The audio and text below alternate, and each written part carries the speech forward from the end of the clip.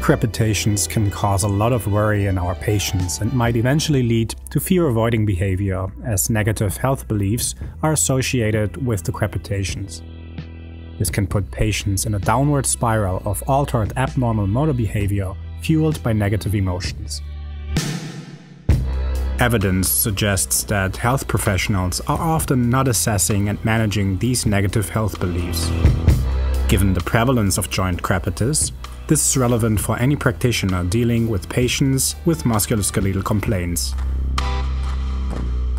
It's time we put an end to this and start to reassure our patients that what they are experiencing is normal and even more important, explain to them what is happening.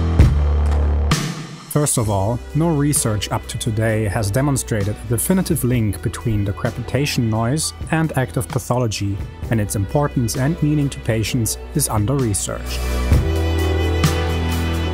99% of a cohort of subjects had joint crepitus but no pain.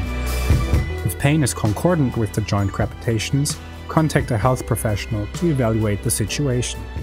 An extra-articular mechanism may be tendon snapping over bony protuberances, which may be a palpable hollow snapping, sometimes inaudible, such as de Quervain's disease or tenosynovitis.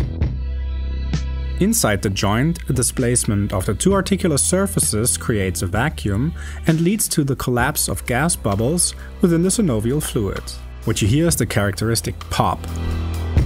Interestingly enough, Habitual knuckle cracking over the course of years showed no signs of osteoarthritis. The clunk can be explained as the slip-stick phenomenon, whereby the movement of the patella and femur are jerky and produce signals on vibration arthrography. These vibrations are reduced in osteoarthritis and almost lost on advanced patellofemoral changes, most probably due to hypermobility and loss of joint lubrication. So in short, degenerative joints are actually less likely to produce a crepitus. But what about the fine grading? That's also normal as fluid flows through the slightly rough retropatellar surface. And did you know that the eland, a type of African antelope, uses knee crepitus to display dominance? So maybe we should not see cracking knees as a sign of pathology, but as a positive sign because our joints are mobile and well lubricated.